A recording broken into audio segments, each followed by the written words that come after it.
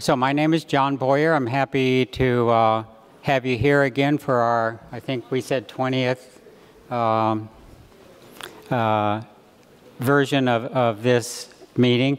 You can see from the lineups to talk to the doctors, this is uh, a vitally important topic to a lot of people, and and that's why we're here is to give you the information that you that you need.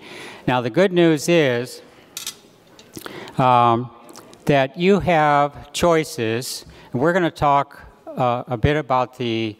Uh, we're going to touch on Dr. Huang's uh, topics, on Dr. Flaxel's topics, uh, but you have choices for getting the most out of your vision. You have choices for how you function with your vision. You have choices for how well you do the things that you want to do and that you've been doing and that, and that you want to keep doing. Uh, so there are options for improving your uh, performance with your vision, and we're going to talk about those. Uh, first of all, I want to tell you that uh, I don't have any conflict of interest regarding any of the products that you'll see in the uh, exhibit hall. If um, we, we want to tell you about them because they're available, we want you to investigate, uh, want you to meet with the vendors to, uh, regarding the products and have a chance to experience some of these yourselves to make, uh, uh to make a decision for yourself. Now, the, you heard all the names that you heard. Uh, some of them are hard to pronounce, uh, especially Dr. Flaxel's list of medications. And so it, it, occurred to me this is kind of an alphabet soup uh, of, of information. And I was thinking, well, what if we went through the alphabet and just took 26 ideas that all relate to uh, macular degeneration. I think the list is obviously a lot longer than this, but th these are like the first 26 thoughts I had recently as I was thinking about today. So we start with A, and that uh, stands for advancements, and that's what we've been hearing all morning. There are advancements in the early detection of macular degeneration. One of the advancements uh, Dr. Huang talked about is optical coherence tomography angiography, or OCTA. And uh, it was developed in part, I would say in large part, by the researchers at the Casey Eye Institute. And Dr. Huang made it very clear that the earlier we can uh, suspect or know for sure that there are uh, changes going on in the blood vessels uh, below the retina, the earlier that we can potentially start treatment and uh, uh, you know prevent damage. So we are grateful, as Becky said, we have reason to be grateful for these advancements that the researchers are, are working feverishly to uh, come up with. So B, B stands for better treatments. And again, uh, we've heard from Dr. Flaxel that we have, um, for the wet form of macular degeneration, she listed uh, three different types of anti-vascular endothelial growth factor or anti-VEGF medications. And she said, you know, that your doctor, if you have the wet form, and if it's appropriate to start uh, injections in your eye with one of these anti-VEGF um, uh, medications, start with one, they may switch you to another, they may switch you to a third drug, they may go back to the first, they they titrate or they, they try to uh, monitor how your body's responding to the drug that's that's chosen. Um, so we're, it wasn't too long ago we didn't have any of these, and then a little bit later we had one of them. Now we have three. So there's, there's, it's really good news that we have these, and if, if, and a lot of what Dr. Flaxel said is, uh, and I, I, counted about eight or ten studies that she was um, referring to. They're looking at eye drops, they're looking at other injectable medications, they're looking at some of the oral medications, uh, like she said, for metformin. So um, there will be more choices for the doctors to offer to you if you develop the wet form, and, and now, too, they're looking for uh, potential treatments for the dry form. So let's go on to letter C. C in the alphabet. C stands for community education. Uh, community education events such as this one, where you, you can really hear the truth about what's going on. Uh, what you hear on the evening news uh, is interesting, but it may not actually be uh, available. It may not be what it sounds like it is. And so uh, uh, you, you want to check with your doctor, and you, you can check with the doctors at the Casey Eye Institute. Many of you are patients here. Uh, regarding the latest developments uh, all around macular degeneration. D stands for the distributor, the dedicated distributors of the assistive technology uh, the distributors that we here who are that we have here who are supporting this event. They're in the. We have two exhibit areas. If you haven't had a chance to see yet, um, if you go out the doors to your left and uh, right across the hallway, there's a large exhibit area with uh, many uh, vendors, and then also. Um, if you go out the doors and turn to your left, there's another exhibit area.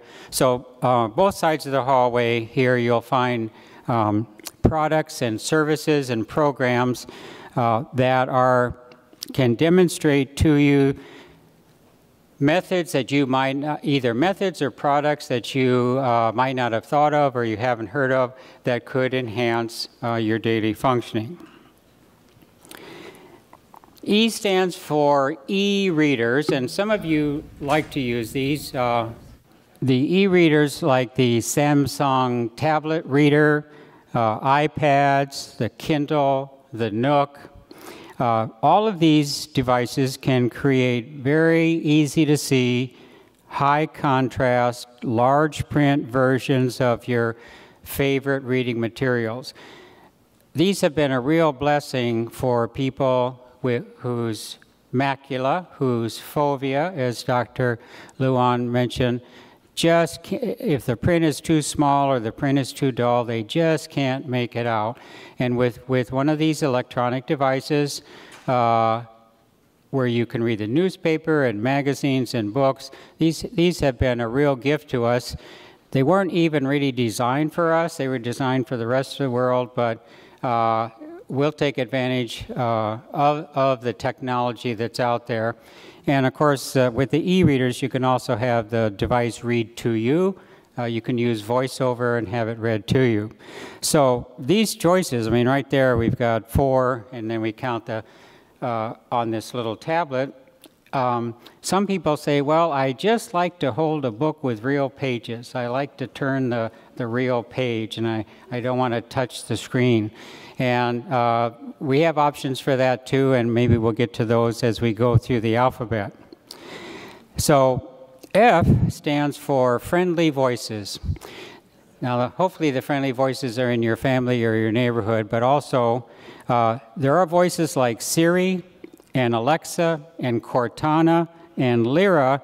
These are uh, robotic voices. These are computerized voices uh, that are on the iPhone. Siri is on the iPhone. I know a lot of you have the iPhone with Siri, um, and you have a relationship with Siri, good or bad. Uh, and Alexa, the, the whole group, the Amazon is offering Alexa, Microsoft on their products is offering Cortana, and then Lyra on Android. And um, th these are very handy if you want to learn how to, and you do have to establish a relationship of what you ask for, how you ask for it, uh, but it can be very, very helpful. Uh, uh, you might say, Alexa, do I have a doctor's appointment tomorrow? And she'll say, no, you know, your doctor's appointment is next Monday or whatever.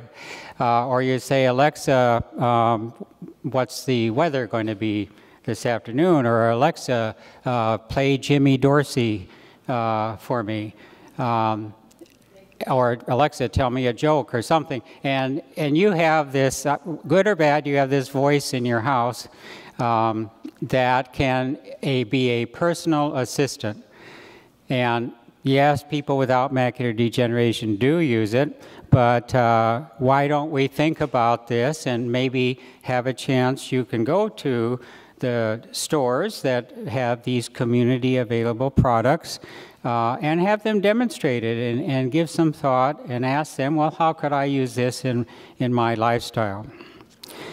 So G stands for genetics, and, I, and I, uh, obviously we've been talking about genetics already this morning, but I want to I want to point out to you that Dr. Michael Klein, who's here today, uh, Dr. Klein at the Casey Eye Institute is a world leader in developing greater understanding of the genetics of all forms of macular degeneration to support the future development of a new way to prevent it from occurring in those people who are susceptible because of their uh, family history, genetic family history, uh, possibly a way to prevent it, and also to guide um, uh, treatments on, on people who do have it.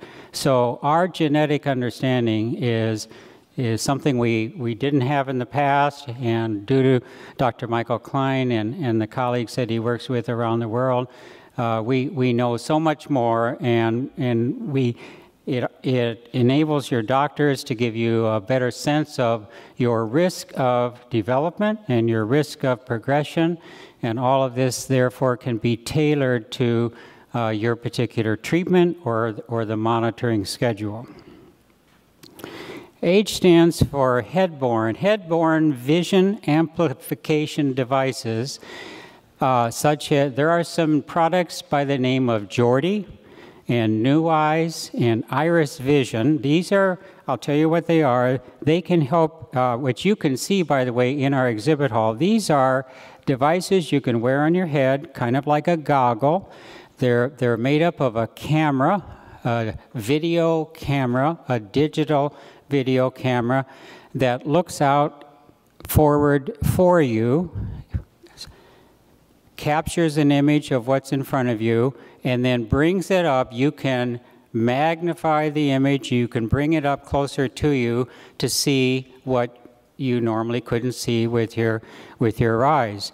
Um, in the newspaper, I had a gentleman tell me here in the newspaper there's been some um, talk about a device like this. It's a Canadian product. It's called the eSight. The eSight is not here. Uh, it comes from Canada. The Jordy, the NuEyes, and the Iris Vision come from the United States. And it's nice that there, that there are manufacturers who are coming up with competitive products. It's kind of like uh, appliances. Uh, all the, you know, you're getting an appliance, the different companies that make a given appliance. They compete with the other companies uh, to do the same job, uh, but give you more choices on you know, how you invest yourself, how you invest your money. But the Jordy and the NuEyes and the Iris Vision, you can see what these are like uh, in the exhibit hall today. Now, I stands for identify and there's another device that's here in the exhibit hall behind you, down the hallway and behind you. Uh, it's called the Orcam device. it was developed in Israel uh, several years ago. It took many years for it to come across the ocean uh, and get to the United States, and it's been here now for a couple of years. And the, the Orcam uh, substitutes for your vision. It doesn't amplify your vision. It doesn't give you a large picture of what you're looking at. It doesn't have a video screen for you to look at. It is your eyes, and it attaches to your glasses, to the right side of your glasses. It's looking with its little camera. It's about the size of your little finger, attaches right to your glasses. It's a computer, it's a camera, it has a speaker, and it has a microphone. It will listen to you when you tell it certain things, and then it'll talk to you. And two of the things that it does is it can read print for you. If you have a menu, if you have uh, some mail, if you have a book, if you have a newspaper, you hold it up, you point at where you want the camera to look, it takes a picture of the print, and then it starts with a robotic voice, a computer voice, it reads what was on uh, that piece of paper, that menu or book or, or newspaper. The other thing that the OrCam can do is it can identify people's faces. So facial recognition software has been around for a long time. In other applications, uh, many people with macular degeneration say, I really have trouble recognizing faces of people where I live, um, uh, and I'm, I'm a bit embarrassed. I, I, don't, I don't know who they are. I have to wait for them to talk to me, and if I don't recognize them and I don't acknowledge them, they think I have, you know, an attitude problem, and I don't want that. Well, with the OrCam, uh, it, you can teach the OrCam, I am told, uh, 150 faces. Uh, I can't remember 150 faces with any teaching. Um, but so the OrCam is a remarkable device, and uh, you can have it demonstrated to you today. Um, if and now, if you wanted to just read to you, it's about $2,500. If you wanted to read to you and tell you who just uh, came into the room, it's about 3,500. I think that's correct, but you'll need to check uh, in the exhibit hall. We, this is another choice we didn't have uh, just a couple of years ago.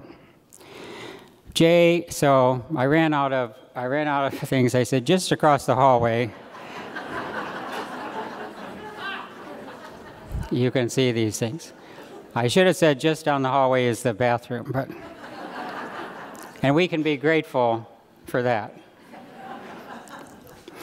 So K, K is to know, K N O W. Did you know that closed CCTV, closed circuit TV video magnifiers were invented by Dr. Sam Genensky at the RAND Corporation in San Francisco in 1968 and they have been used by people with macular degeneration to read books and newspapers for almost 50 years. If you're new to macular degeneration, uh, this is not new, and we've been treating it, and we've been making, we've been helping people have happier, better, more well-informed and educated lives well over 50 years. But with this particular technology, um, it's, it's still available. You'll see the modern version of the CCTVs in the exhibit halls today. We've gone from the big TVs like we used to have down to slim, where the, the TV monitor is a real slim, high definition uh, monitor. But the camera basically works the same. You put the, the, ob, the, the item you want to read uh, under the camera. The camera takes a picture, blows it up big on the screen, and you can make it big, big, big. You can make it as whatever you need in order to see it uh, comfortably, accurately, smoothly, and with speed. If we talk about transportation, L is for the lift, for the TriMet lift. In the, in the greater Portland area, the TriMet lift is an inexpensive door-to-door delivery service you can use uh, to go see your eye doctor and, and other things. Uh, you do have to, if you haven't uh, used the lift yet, I believe TriMet, I think TriMet is one of our um, participants here. Uh, you just have to make a reservation, I think 24 hours in advance, and they'll come pick, come to your door and pick you up and take you uh, to your destination. Uh, it does take a little longer than the old days of getting in the car uh, and just going there. Uh, and you might have to, it, it might be quite a long uh, trip to pick up other people and drop them off who are also using the lift, but still, peace of mind, inexpensive, and um, you just you just call the program the day before. M is for motorized transportation may one day not require a driver's license due to the availability of self-driving cars. I have mixed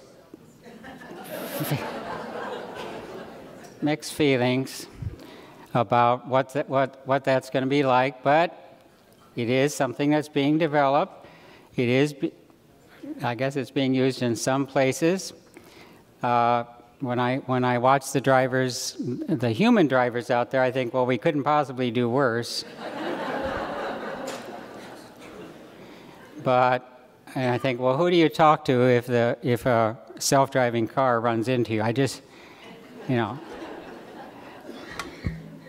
a lot of questions.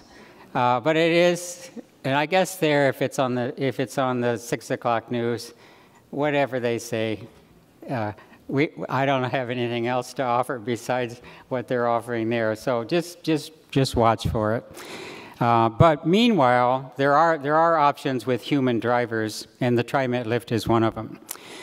Uh, N would be for nutrition, and the AREDS formula nutritional supplements have been found to prevent the development of wet macular degeneration in a clinically significant portion of patients who have certain types of uh, dry macular degeneration. And the ARED studies go back, it's more than 15 years, I think it must be 17 or 18 years, where they first started with the AREDS, what would be the AREDS 1. Um, and it really, really did make a difference um, in preventing a some of the dry forms from converting converting to wet. And as Dr. Huang said, we want to keep you on the on, on the dry pathway and not not progress over to the wet pathway. Um, Dr. I think it was Dr. Flaxel who who mentioned uh, you know not smoke, choosing not to smoke. I would also say don't chew um, tobacco, but uh, and lifestyle change, something you can do something about. You can take the vitamins. You can also eat vegetables. And the lutein and the zeaxanthin that are in the AREDS too are also uh, in vegetables, bright colored, leafy, red, green, blue, darkly colored vegetables. The pigments in the vegetables that give them the color uh, are in the lutein and the zeaxanthin, in, that's in the AREDS 2. Uh, if you have trouble swallowing the AREDS 2, you shouldn't have trouble swallowing the vegetables. There's no excuse for not eating your vegetables. And so if you're, and, and the AREDS 2 study uh, was they looked at people and this is not a scientific description, but they looked at people the way I see it, who were meat and potatoes people, who didn't have lutein and zeaxanthin in their diet because they, they hated vegetables. Then they had other people in the study who, who were vegetable eaters and even fish, fish eaters too, because the AREDS 2 study then, they had an arm of the study where they were looking at, at fish oil. And uh, my understanding is those who came in with low blood levels of lutein and zeaxanthin because they were meat and potatoes, when they took the AREDS 2 vitamin, their blood levels came up, which is good because that means it was getting to the macula. And then those people who were already uh, avid uh, vegetarians, or, or, they ate a lot of vegetables anyway, uh, when they took the, the AREDS 2 vitamin, th their blood level didn't rise much because they're already at a high level. Um, so I, I just have to say that for you meat and potatoes guys, uh, just stop and uh, complaining and eat your vegetables.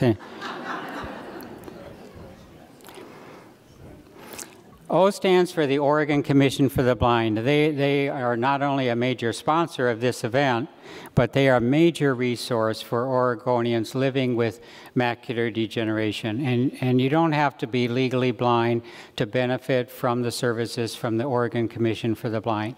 They have a large program uh, in their, in their, they have a, a large uh, division in their uh, program for people who have vision impairment from not only from macular de degeneration, but other causes too. Um, and you do want to stop by their table if you haven't, and just talk to them about uh, how, how they might uh, be of service to you. And they do come to your home uh, to provide these services, and it's free. Now, here, P is for protection. We're going to talk about blue light here.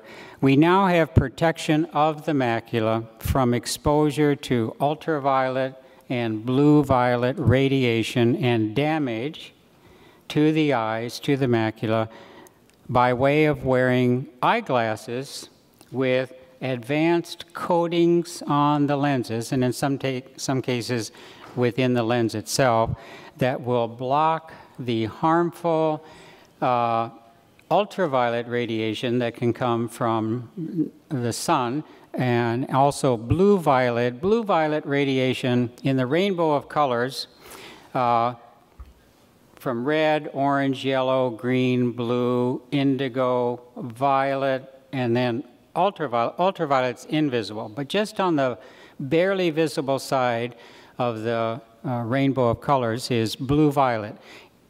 It is a very uh, high energy um, form of radiation. It can, uh, it can damage your fovea. It can damage those retinal, those vision cells that Dr. Huang showed on his slides.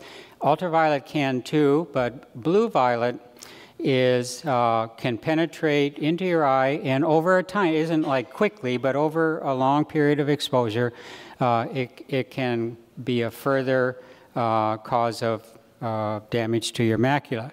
And we can block that from even getting in your eyes by something as simple as having the proper uh, blue violet and you always get the ultraviolet coating at the same time uh, be put on your glasses, and you can ask your optician, your optometrist, your ophthalmologist who prescribes your glasses uh, uh, to tell you about it and to offer that to have that put on onto your onto your glasses.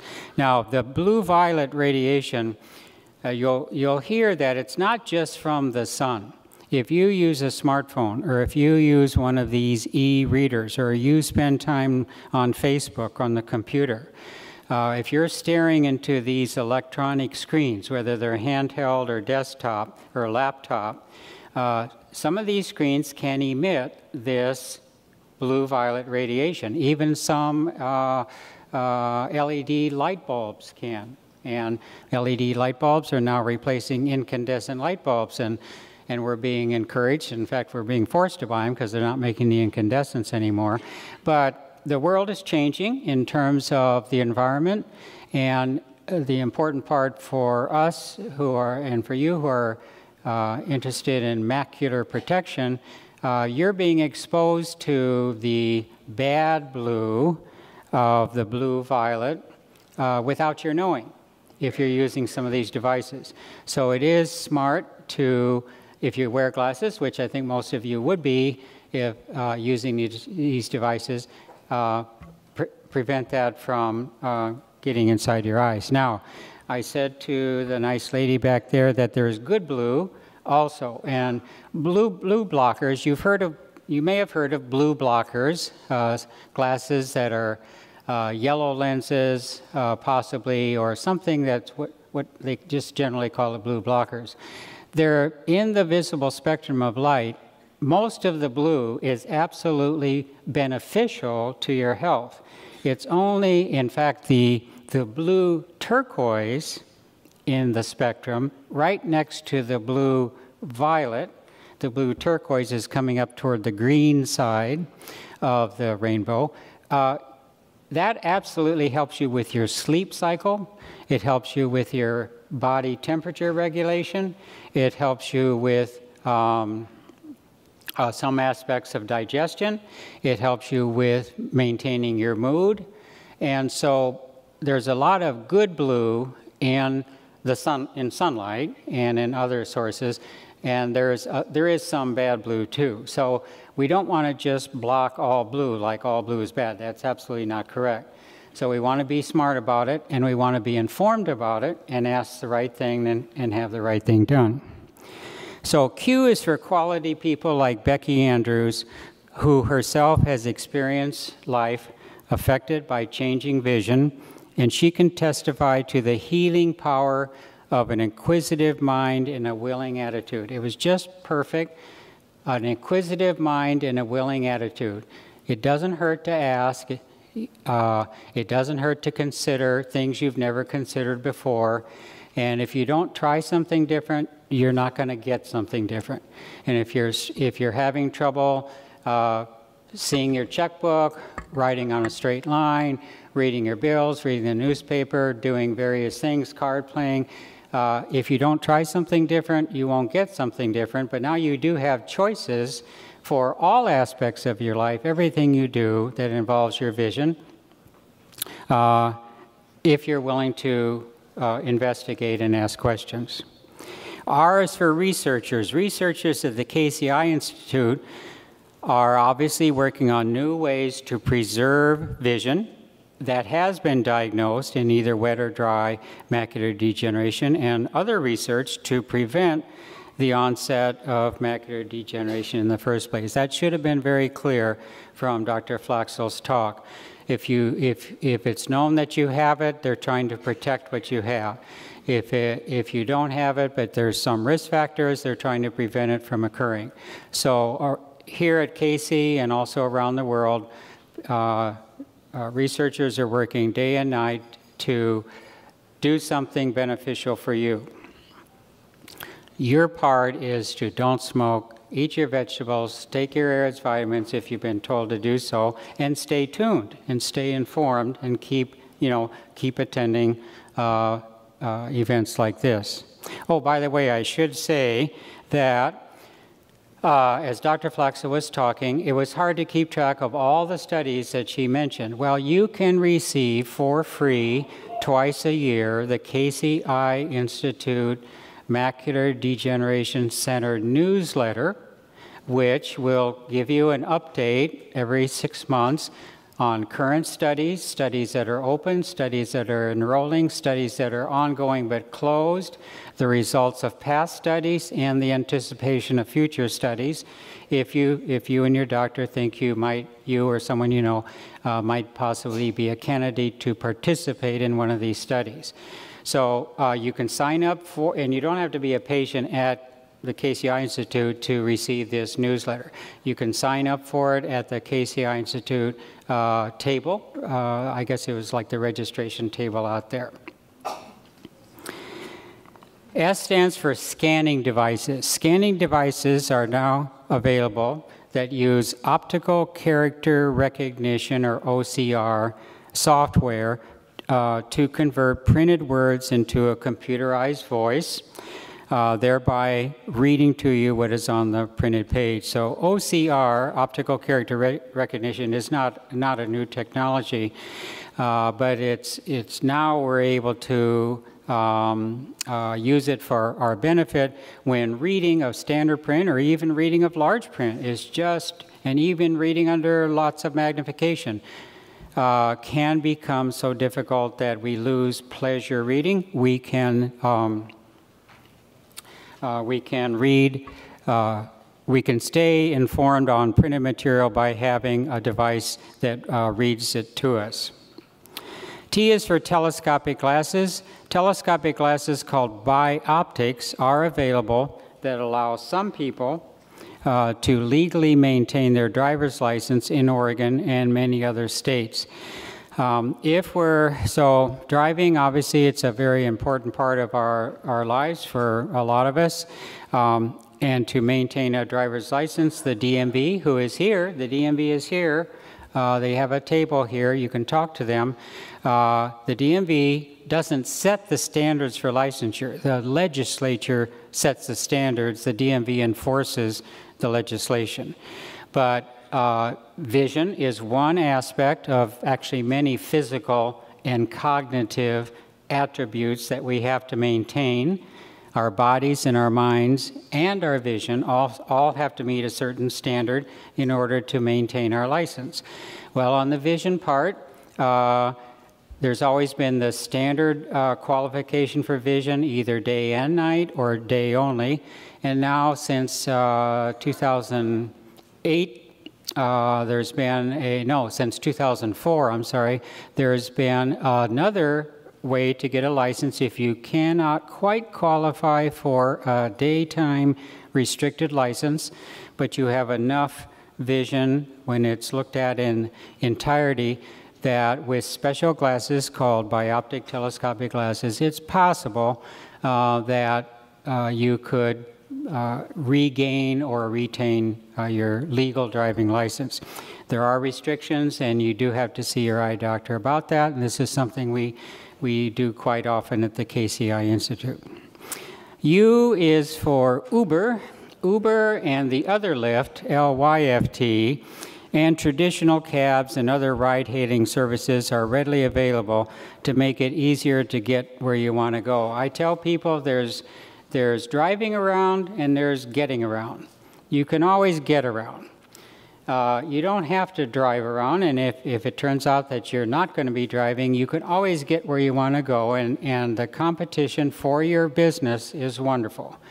Uh, a lot of patients say, I don't want to bother my children, I don't want to bother my church members, I don't want to bother my neighbors, I don't want to impose upon them to take me somewhere. Um, but I'll tell you, you will make the day of the Uber driver if you call them, and they will, you know, happily meet you at your front door uh, and, and bring you back. So, uh, and you can all remember it, it hasn't been long that we've had these, these options. Uh, we've always had traditional cabs for sure, and we've always had the TriMet service here in any way, but TriMet isn't every, everywhere in Oregon.